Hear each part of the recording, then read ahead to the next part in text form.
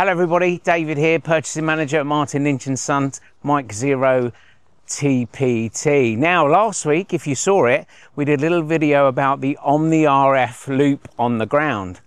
Now what we're going to do this week is we're going to show you the comparison. A lot of people on the video asked us to do the comparison and that's what we're doing today. It's a little bit cloudy, but hopefully the rain will stay away and uh, you should hear some differences between the two antennas that I've got today.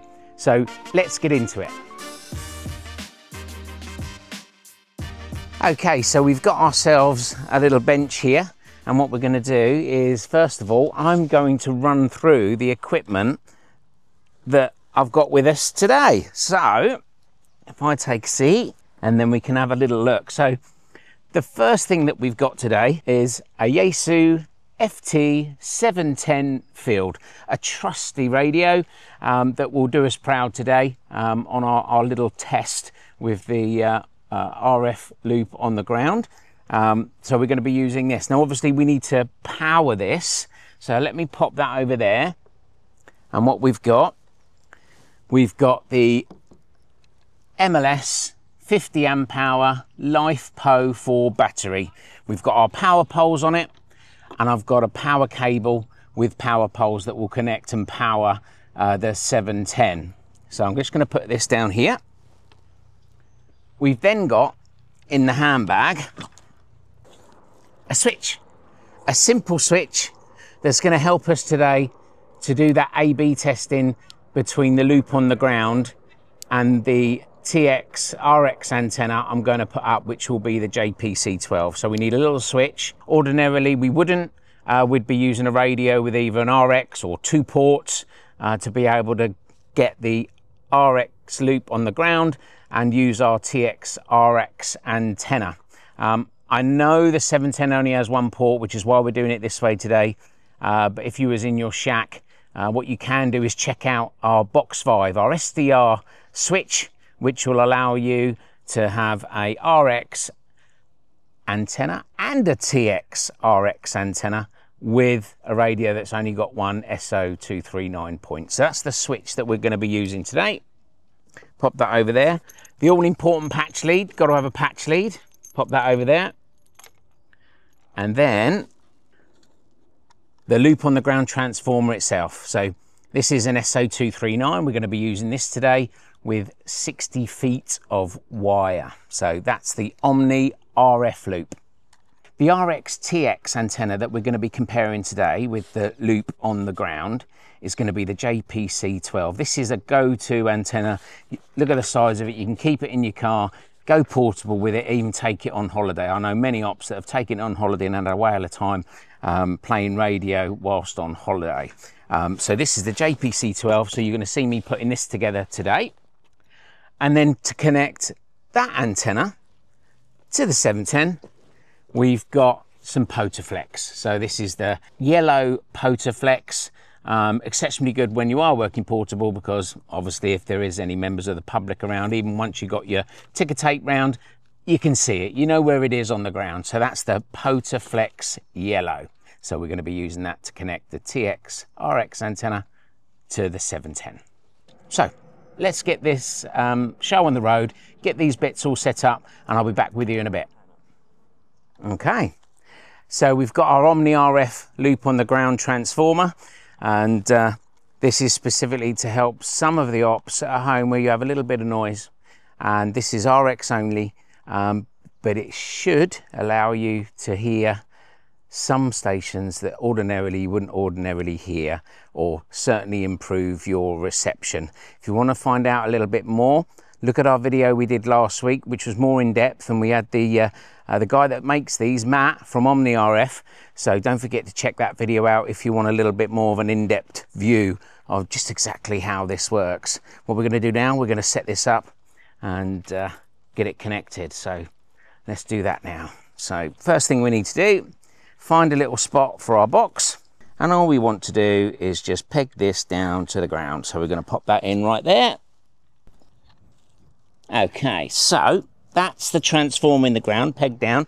What I've done off camera is I've unwound, untangled, um, because we're out of stock of these at the moment, um, I've used our demo one, the one that I was testing at home. So all I've got to do now is I'm going to connect it one side, just undo the wing nut, take the washer off and pop it on. I'll just do that that way.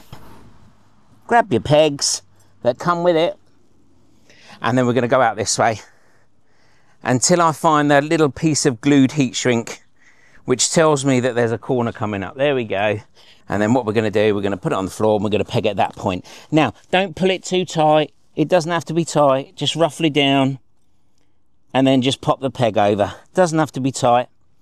And then we're going to go off at 90 degrees again. So we're going to go off this way, 90 degrees, gently feeding the wire.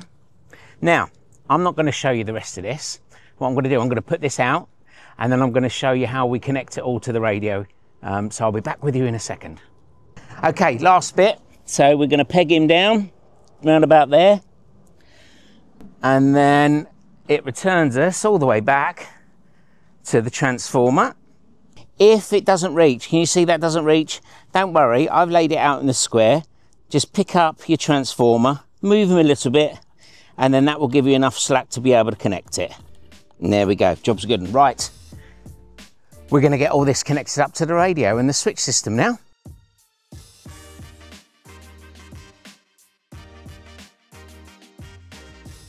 Right, so we're back at the bench. What I'm going to do now is I'm going to connect the loop on the ground to our switch here. So I've managed to route uh, the coax up, which is this one here.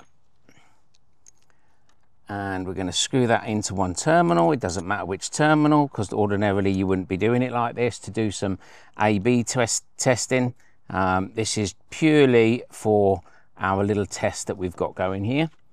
Um, now I've got the JCP12 now you might have missed it. The JPC12 can be deployed so quickly, you probably didn't even notice seeing me doing it. But if you didn't, then uh, we'll put a video up because Tony's done a, uh, a video of it um, being all put together and, and, making some contacts on it. But you can probably see it there in the background. Um, we've got the JPC12 up and um, we've got some Potaflex here, which is connected to it. And I'm going to attach that to the switch as well. And then once we've done this, we can then connect it to the radio on this end and then that will allow us to switch in between in and out of the RF loop and the JPC12 so you the viewers can see the differences uh, between the two. So I'm going to connect this to the radio. Now the radio's already got power. We're using our, um, our MLS 50 amp hour LiFePO 4 battery there. Okay, so we're all set up now and I've found a signal on the radio and we're going to switch between the antennas and um, you'll be able to see just what it's like. So here we go.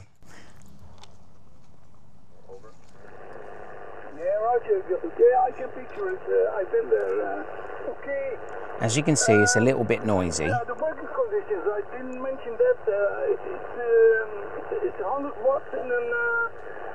This is the JPC-12.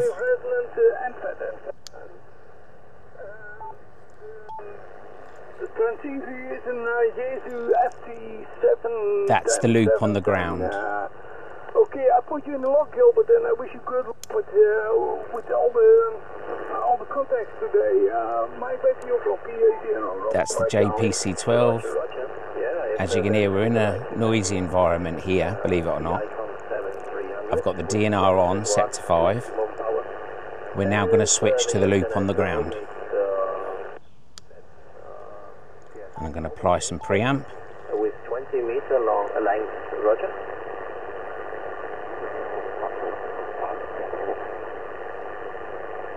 Ben je er nog uh, op die frequentie? Okay, ja, bad. Zie je op op weg. Gilbert, your signal is uh, dropping down to zero here. Uh, zero. Thank you, 42 as well. Papa Alpha slash Romeo Mike Charlie. This is Papa Alpha slash Delta Lima. Charlie Delta. Bye-bye.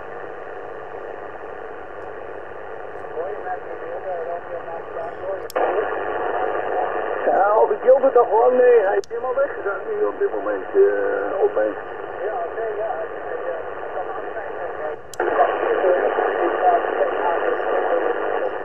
So there you go. You can see the differences there. I was switching between the JPC12 and the loop on the ground. It is really noisy here, believe it or not. As you can see from the screen, um, you know, it, it, it's not as um, tranquil as you would have thought on the bands um, in a place as lovely as this with the Thames behind me. Um, but there's a significant difference that you heard there when I was switching between the JPC12 and the loop on the ground.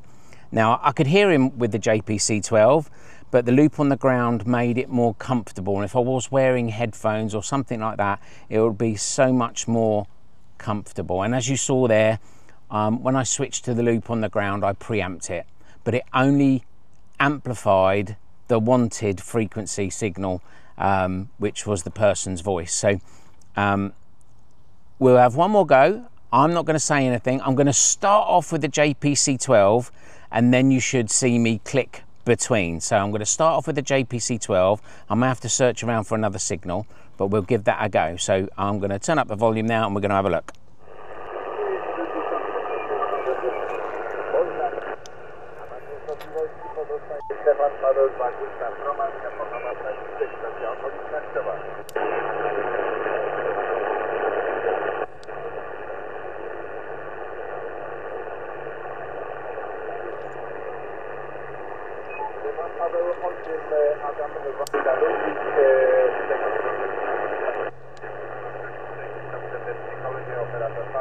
Thank you.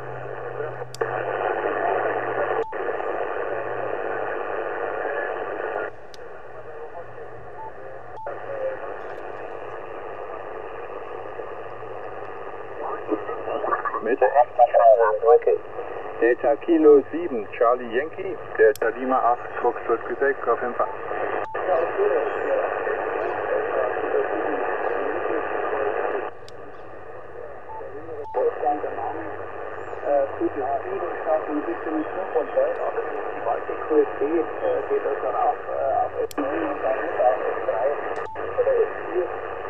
vernünftiger Feldwerke zu hören. Äh, ich hoffe,